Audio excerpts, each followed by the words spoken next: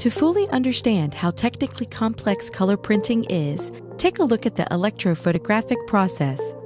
The primary charge roller, or PCR, rotates next to the OPC drum and applies a negative charge to the surface of the OPC drum, which prepares it for the imaging process.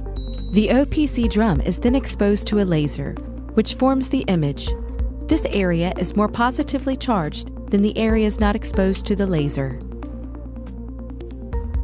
Toner is stirred in the hopper, and the toner adder roller collects the toner, moving it to the surface of the developer roller. The doctor blade then levels it to the precise height.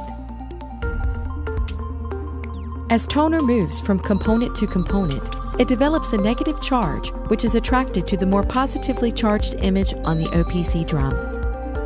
The toner on the OPC drum is then transferred to the intermediate transfer belt. This process occurs within the four color cartridges in every laser printer.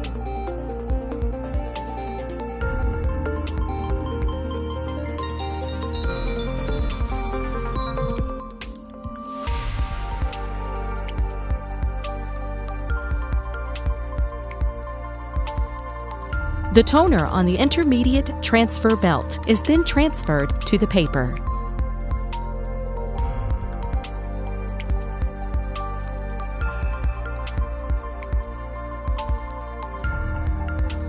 The paper with the toner then passes through the fusing assembly where it is melted and fused to the paper.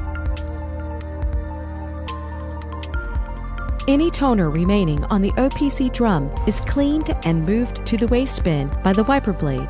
The latent image on the OPC drum surface is erased by the PCR.